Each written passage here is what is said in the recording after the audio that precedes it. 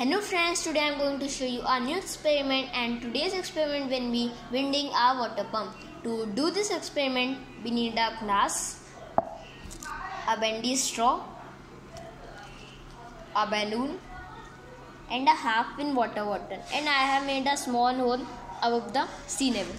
So first we have to put this straw through the uh, bottle. So I will come after putting it. See I have uh, uh, put the straw through it and then we have to place this glass near the straw and then we have to blow the balloon.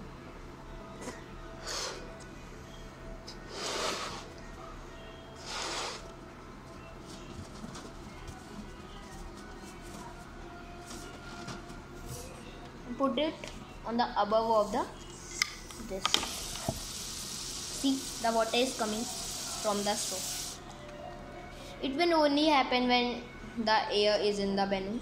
So if you like the this experiment please like share and subscribe. And thanks for watching. Bye